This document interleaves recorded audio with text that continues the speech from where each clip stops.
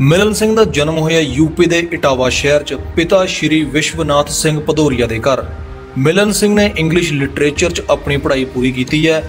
ਪੜ੍ਹਾਈ ਦੇ ਦੌਰਾਨ ਮਿਲਨ ਸਿੰਘ ਵਧੀਆ ਸਟੂਡੈਂਟ ਹੋਣ ਦੇ ਨਾਲ-ਨਾਲ ਹੀ ਹਾਈ ਜੰਪ ਤੇ ਫੁੱਟਬਾਲ ਦੀ ਇੱਕ ਵਧੀਆ ਖਿਡਾਰੀ ਵੀ ਰਹੇ ਨੇ। ਜੇ ਗੱਲ ਕਰੀਏ ਮਿਲਨ ਸਿੰਘ ਦੀ ਗਾਇਕੀ ਦੀ, ਤਾਂ ਉਹਨਾਂ ਨੇ ਬਹੁਤ ਹੀ ਛੋਟੀ ਉਮਰ 'ਚ ਗਾਇਕੀ ਸ਼ੁਰੂ ਕਰ ਦਿੱਤੀ ਸੀ। ਜਦੋਂ ਮਿਲਨ ਸਿੰਘ ਕਰੀਬ 3.5 ਸਾਲਾਂ ਦੇ ਸੀ, ਤਾਂ ਉਹਨਾਂ ਨੇ ਪਹਿਲੀ ਵਾਰ ਗਾਇਆ। ਉਹਨਾਂ ਦੇ ਪਿਤਾ ਉਹਨਾਂ ਨੂੰ ਗਾਇਕੀ ਦੇ ਵਿੱਚ ਪੂਰਾ ਸਪੋਰਟ ਕਰਦੇ ਸੀ, ਪਰ 17 ਜੁਲਾਈ ਸਾਲ 2006 ਨੂੰ ਉਹ ਇਸ ਜਹਾਨ ਤੋਂ ਰੁਖਸਤ ਹੋ ਗਏ। ਮਿਲਨ ਸਿੰਘ ਦੀ ਸਭ ਤੋਂ ਵੱਡੀ ਖਾਸੀਅਤ ਇਹ ਹੈ ਕਿ ਉਹ ਮੇਲ ਤੇ ਫੀਮੇਲ ਦੋਨੋਂ ਆਵਾਜ਼ਾਂ ਦੇ ਵਿੱਚ ਗਾਉਂਦੇ ਨੇ।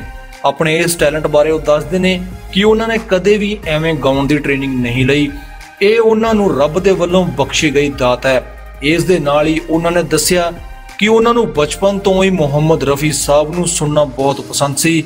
ਤੇ ਜਦੋਂ ਉਹ ਕਰੀਬ 11 ਸਾਲ ਦੀ ਸੀ ਤਾਂ ਉਹਨਾਂ ਨੇ ਹਿੰਦੀ ਫਿਲਮ ਸੱਚਾ ਝੂਠਾ ਦਾ ਇੱਕ ਗੀਤ ਸੁਣਿਆ, ਜਿਸ ਨੂੰ ਆਵਾਜ਼ ਦਿੱਤੀ ਸੀ ਮੁਹੰਮਦ ਰਫੀ ਤੇ ਲਤਾ ਮੰਗੇਸ਼ਕਰ ਨੇ।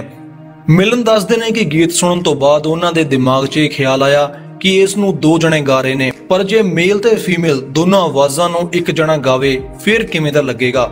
ਸੋ ਉਹਨਾਂ ਨੇ ਦੋਨਾਂ ਦੀ ਆਵਾਜ਼ 'ਚ ਗਾਉਣ ਦੀ ਕੋਸ਼ਿਸ਼ ਕੀਤੀ ਤੇ ਜਦੋਂ ਉਹਨਾਂ ਨੂੰ ਕੋਸ਼ਿਸ਼ ਕਰਨ ਤੋਂ ਬਾਅਦ ਆਪਣੇ ਇਸ ਟੈਲੈਂਟ ਬਾਰੇ ਪਤਾ ਲੱਗਾ ਤਾਂ ਉਹ ਹੈਰਾਨ ਰਹਿ ਗਏ। ਉਹ ਬਹੁਤ ਜ਼ਿਆਦਾ ਖੁਸ਼ ਹੋਏ। ਅਗਲੇ ਦਿਨ ਸਕੂਲ ਜਾ ਕੇ ਉਹਨਾਂ ਨੇ ਆਪਣੇ ਨਾਲ ਪੜਨ ਵਾਲੇ ਸਾਥੀਆਂ ਨੂੰ ਕਿਹਾ ਕਿ ਮੈਂ ਤੁਹਾਨੂੰ ਇੱਕ ਜਾਦੂ ਦਿਖਾਉਂਦੀ ਹਾਂ। ਤਾਂ ਉਹਨਾਂ ਦਾ ਇਹ ਟੈਲੈਂਟ ਦੇਖ ਕੇ ਬਾਕੀ ਸਾਰੇ ਸਟੂਡੈਂਟ ਵੀ ਹੈਰਾਨ ਰਹਿ ਗਏ। ਬਸ ਉਦੋਂ ਤੋਂ ਹੀ ਮਿਲਨ ਨੇ ਮੇਲ ਤੇ ਫੀਮੇਲ ਦੋਨੋਂ ਆਵਾਜ਼ਾਂ 'ਚ ਗਾਉਣਾ ਸ਼ੁਰੂ ਕੀਤਾ ਤੇ ਹੌਲੀ-ਹੌਲੀ ਗਾਇਕੀ ਦੀ ਸਿੱਖਿਆ ਤੇ ਰਿਆਜ਼ ਦੇ ਨਾਲ ਆਪਣੀ ਇਸ ਕਲਾ ਨੂੰ ਨਿਖਾਰਦੇ ਰਹੇ। ਮਿਲਨ ਸਿੰਘ ਜੀ ਦੇ ਕੈਰੀਅਰ ਦੀ ਸ਼ੁਰੂਆਤ ਦੀ ਗੱਲ ਕਰੀਏ ਤਾਂ ਉਹਨਾਂ ਨੇ ਐਲਬਮ ਫੰਕਾਰ ਏਕ ਆਵਾਜ਼ੇ ਅਨੇਕ ਦੇ ਨਾਲ ਡੈਬਿਊ ਕੀਤਾ। ਇਹ ਐਲਬਮ ਦਰਸ਼ਕਾਂ ਵੱਲੋਂ ਕਾਫੀ ਪਸੰਦ ਕੀਤੀ ਗਈ। ਇਸ ਐਲਬਮ ਤੋਂ ਬਾਅਦ ਉਹਨਾਂ ਦੀ ਪੰਜਾਬੀ ਐਲਬਮ ਆਈ, ਜਿਸ ਦਾ ਨਾਮ ਸੀ ਹੇ ਜਮਾਲੋ।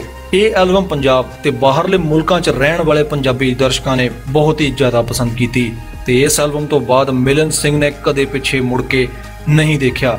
ਮਿਲਨ ਸਿੰਘ ਹੁਣ ਤੱਕ ਕਰੀਬ 32 ਐਲਬਮਸ ਰਿਲੀਜ਼ ਕਰ ਚੁੱਕੇ ਨੇ ਜਿਨ੍ਹਾਂ ਵਿੱਚੋਂ ਕੁਝ ਪੰਜਾਬੀ ਐਲਬਮਸ ਦੇ ਨਾਮ ਲਈਏ ਤਾਂ ਨੱਚ ਕੁੜੀਏ, ਚਿੱਠੀ ਮੇਰੇ ਯਾਰ ਦੀ, ਨੱਚਣ ਜਿਵੇਂ ਬਹਾਰਾਂ, ਦਿਲ ਲੁੱਟਿਆ ਨਵਾਂ ਨਕੋਰ ਤੇ ਹਿੰਦੀ ਐਲਬਮਸ ਦੇ ਨਾਲ ਹੀ ਹੋਰ ਵੀ ਕਈ ਭਾਸ਼ਾਵਾਂ ਦੇ ਵਿੱਚ ਗਾ ਚੁੱਕੇ ਨੇ।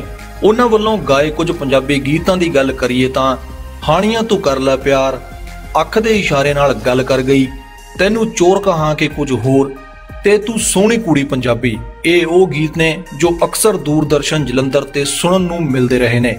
ਮਿਲਨ ਸਿੰਘ ਦੱਸਦੇ ਨੇ ਕਿ ਜਦੋਂ ਉਹਨਾਂ ਨੇ ਮੇਲ ਫੀਮੇਲ ਆਵਾਜ਼ 'ਚ ਟੀਵੀ ਤੇ ਗਾਉਣਾ ਸ਼ੁਰੂ ਕੀਤਾ, ਤਾਂ ਪਹਿਲਾਂ ਦੇਖਣ ਵਾਲੇ ਦਰਸ਼ਕਾਂ ਨੂੰ ਇਹ ਲੱਗਦਾ ਸੀ ਕਿ ਇਹ ਕਿਸੇ ਤਰੀਕੇ ਨਾਲ ਇਹਨਾਂ ਦੀ ਆਵਾਜ਼ ਨੂੰ ਦੂਜੀ ਆਵਾਜ਼ 'ਚ ਬਦਲ ਦਿੰਦੇ ਨੇ। ਪਰ ਜਦੋਂ ਉਹ ਲਾਈਵ ਕਨਸਰਟ 'ਚ ਲੋਕਾਂ ਦੇ ਸਾਹਮਣੇ ਪਰਫਾਰਮ ਕਰਨ ਲੱਗੇ, ਤਾਂ ਦਰਸ਼ਕਾਂ ਨੂੰ ਪਤਾ ਲੱਗਾ ਕਿ ਇਕੱਲੀ ਮਿਲਨ ਸਿੰਘ ਹੀ ਹੈ ਜੋ ਦੋ ਆਵਾਜ਼ਾਂ 'ਚ ਗਾ ਰਹੀ ਹੈ।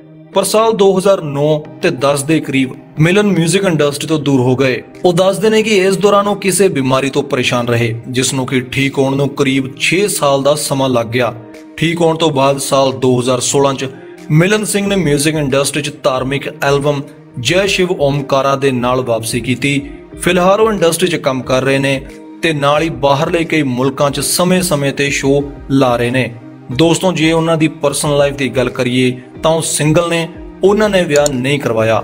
ਸੋ ਦੋਸਤੋ, ਇਹ ਸੀ ਅੱਜ ਦੀ ਛੋਟੀ ਜਿਹੀ ਜਾਣਕਾਰੀ ਗਾਇਕਾ ਮਿਲਨ ਸਿੰਘ ਦੇ ਬਾਰੇ।